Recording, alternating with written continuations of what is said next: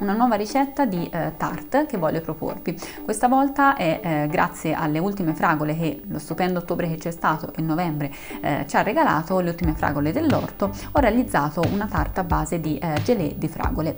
Per realizzare la tarta al cacao il procedimento è sempre il solito perché si parte da una base di sablé al cacao, quindi non basterà, basterà altro che unire tutti gli ingredienti insieme, stendere la nostra sablé, aspettare che si freddi bene, poi andare a copparla poi andare a cuocerla a 180 gradi per una decina di minuti.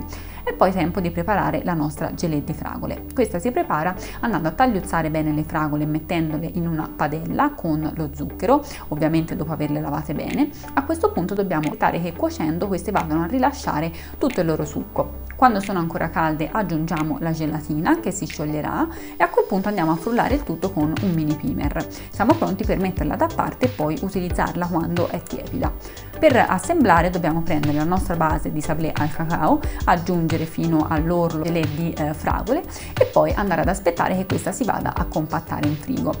Fatto ciò poi alla fine andiamo a decorare con crema al mascarpone creata semplicemente andando a montare il mascarpone con lo zucchero a velo. Siamo pronti quindi per servire la nostra tarte. Vediamo come prepararla.